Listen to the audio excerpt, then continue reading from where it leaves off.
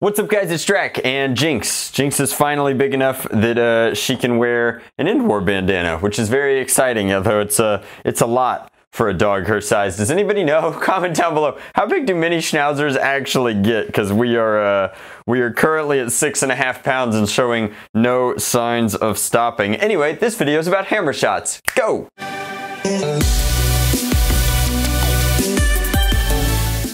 So, as you know, the Hammer Shot is a five-shot zombie strike revolver that delivers the hits. It's probably one of, if not the best Nerf pistols of all time. Uh, this one has twice the capacity, and this one has less. So why did we take them in either direction? Well, they both feature 3D printed cylinders from makers in our hobby, and I will link in the description box below to either the files or the purchased location of these, uh, these parts. So this one is a Mega Hammer Shot, and I think that it's really, really cool because in some games, Megas are shield breaking ammo, and while there's a little bit of funkiness up here at the front end. Overall, it turned out very nice with a white handle and a red Mega trim. We've got the Drac logo in vinyl from my little sister Addie over at foamblastshop.com. And then we threw Mega over here and a quick fang signature in enamel. Uh, we haven't gotten that much better at writing things in enamel, so luckily uh, the vinyls from Addie come in a lot of handy ever since uh, Avery kind of stopped making them. Um, but uh, over here we've got a 10 shot cylinder. I call this one,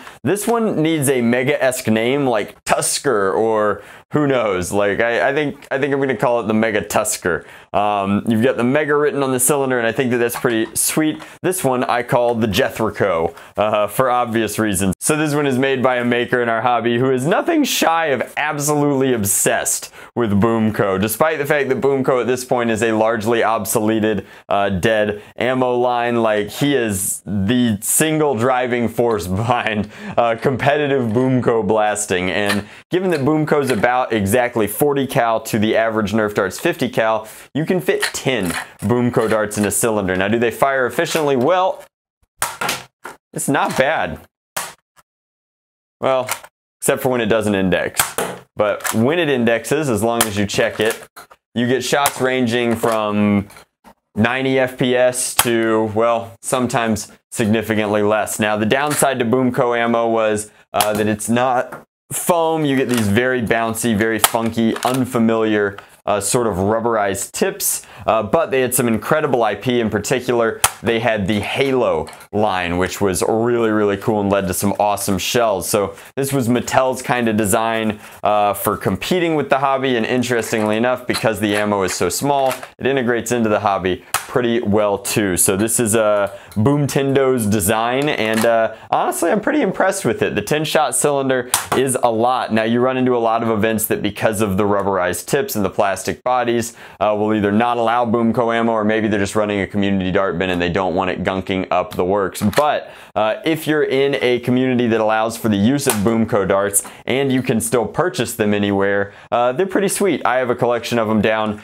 in my basement down below and uh, I've got enough that I can use all of my Halo rifles, which was very important to me. But when Boomtendo sent over the cylinder, I was skeptical at first, but ultimately I'm a, I'm a believer. I think that the Jethrico is a cool sidearm, and 10 shots not reloading is serious, serious business. Now, as for the Mega Hammer Shot files, you'll note uh, this is expanded a little bit over a regular hammer shot in terms of like the cylinder had to be pushed out just a little bit farther to accommodate the extra length of Mega Darts. And our Tusker here is using the files that I found on Thingiverse, and I just think that they're pretty sweet. So indexing works well, firing is pretty soft. Now, if it's a shield breaking shot, who cares? That's good enough. But uh, I only have two cylinders currently functional because the way that I epoxied the barrels into the cylinder, the way that they set, they set it off in funky angles. So only two of my cylinders are functional um,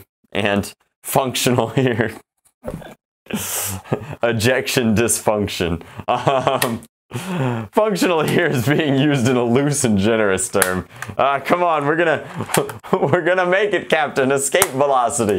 There we go. So uh, one shot pretty good, two shot, eh. And then of course, like I said, uh, a couple of these barrels are so off-centered due to the way that they set inside the cylinder that they were uh, they were not long for this world. However, the concept is cool. The uh, the idea of it is strong. Now these were super quick and dirty prints. Uh, I think that if we did these at like arcane quality printing, we would wind up with a much much nicer product, a better overall Mega Dart fit. We'd have less friction exiting these barrels. And I think that there's potential here. I think that this could be a very, very cool mod if taken slightly more seriously. I thought this was going to be a gimmick blaster, so I threw kind of that level of effort at it. But ultimately, I think that it looks good. I like how seamlessly the 3D printed parts blend in with the cylinder. And I think that ultimately this is a very good look for the Hammershot shell. Uh, so that's the Tusker, that's the Jethrico, one 10 shot, one 4 shot, and ultimately, uh, especially as proof of concepts for both of the different ammo types coming out of a hammer shot,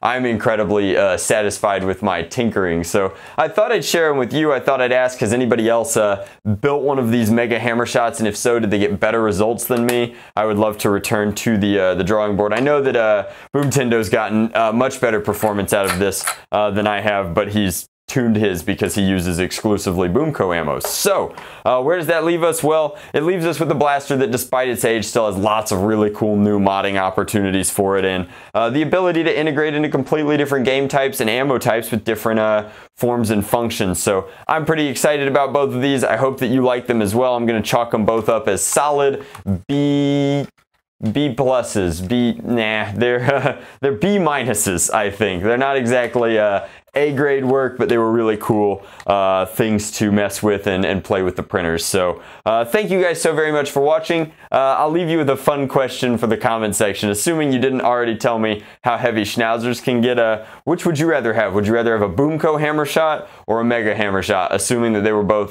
delivering the hits? Much love, Nerf on Drac out.